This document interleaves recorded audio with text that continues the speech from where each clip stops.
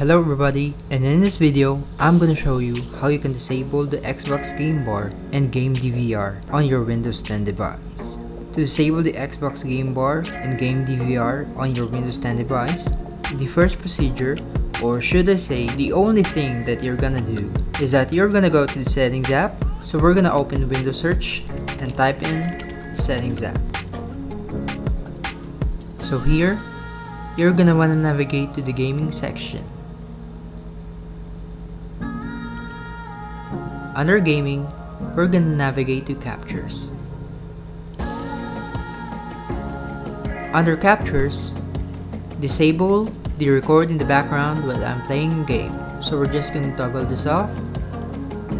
That's the first or the only one that you're gonna need. So if you doubt this procedure, the second procedure we're gonna do is we're gonna open Windows PowerShell. So we're gonna type in search and click run as administrator. Just click yes.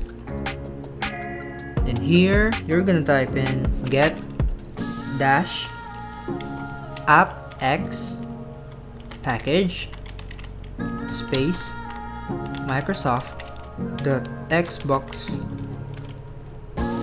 gaming overlay no space then this one on your keyboard, press and hold shift and press backward slash.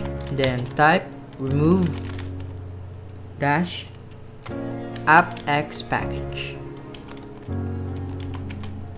Then click enter.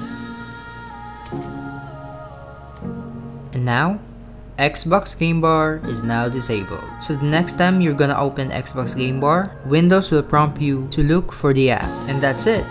That's how you can disable Xbox Game Bar and Game DVR. I hope this helps you.